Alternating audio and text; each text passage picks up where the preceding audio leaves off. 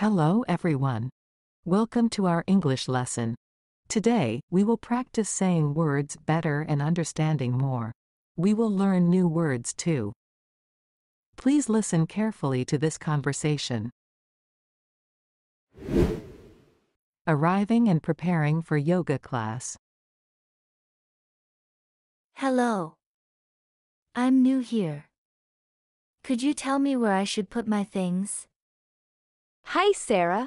Welcome. You can store your bag and shoes in the cubbies over there.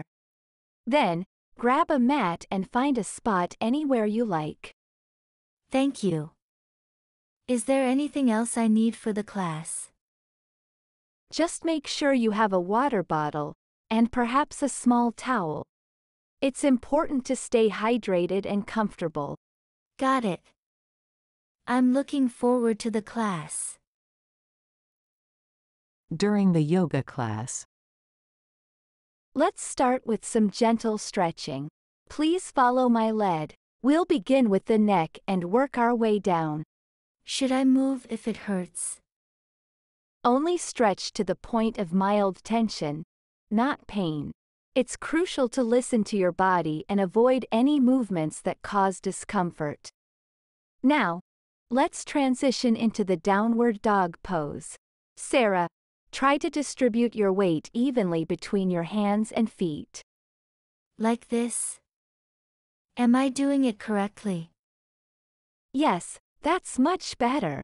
Try to keep your back straight and press your heels down a little more. Mid-class correction and encouragement. Everyone, let's move into the tree pose. Sarah, remember to place your foot on your inner thigh, not on the knee. Is it okay if I can't balance for too long? Absolutely, it takes practice. Use a wall for support if you need to, and focus on a fixed point in front of you to help maintain balance. I think that helps. Thanks. Wrapping up and feedback. Well done today, everyone. Let's finish with some deep breathing and then a few moments of meditation. That was a great session. I didn't realize how tense I was until now. Yoga not only improves flexibility but also helps with relaxation and stress relief. Keep practicing, and you'll notice even more benefits. I definitely will. Could you recommend any online resources where I can learn more? Sure, I'll email you some links to good beginner videos and articles. They'll be very helpful. That would be fantastic, thank you so much. You're welcome, Sarah. See you in the next class. Let's learn some new words and phrases from the conversation. Cubbies. Meaning, small, open compartments where you can store personal items, like bags or shoes. Hydrated. Meaning, keeping enough water in your body to stay healthy and function well. Tension. Meaning, a feeling of tightness in your muscles or body parts. Discomfort. Meaning, a mild feeling of being uncomfortable or in pain. Distribute. Meaning, to spread something evenly across different areas. Balance. Meaning, the ability to stay steady and not fall over. Practice. Meaning, to do something repeatedly to get better at it. Now let's practice. Listen well and complete the conversation. Arriving and preparing for yoga class.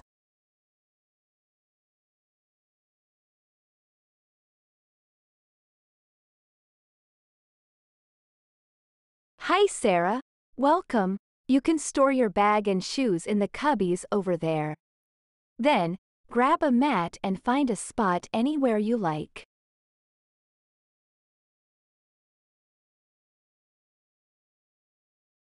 Just make sure you have a water bottle, and perhaps a small towel. It's important to stay hydrated and comfortable.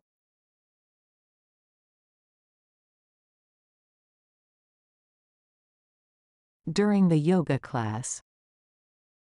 Let's start with some gentle stretching. Please follow my lead. We'll begin with the neck and work our way down. Only stretch to the point of mild tension, not pain. It's crucial to listen to your body and avoid any movements that cause discomfort. Now, let's transition into the downward dog pose. Sarah, try to distribute your weight evenly between your hands and feet.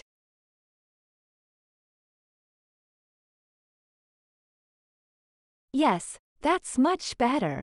Try to keep your back straight and press your heels down a little more.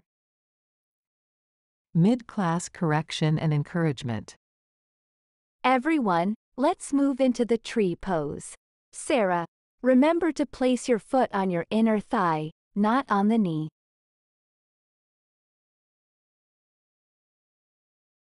Absolutely, it takes practice.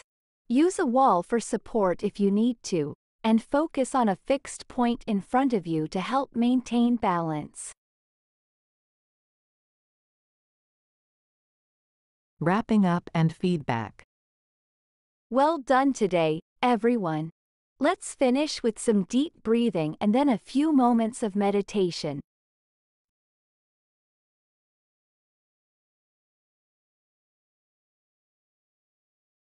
Yoga not only improves flexibility but also helps with relaxation and stress relief. Keep practicing, and you'll notice even more benefits.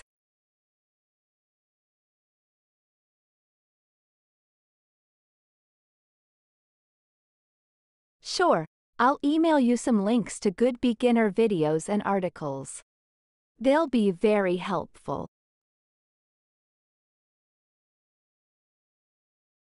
You're welcome, Sarah. See you in the next class. Good work in our English class today. You listened and practiced a lot. Keep practicing, it makes you better. Every time you learn, your English gets better. Remember to like and subscribe for more lessons.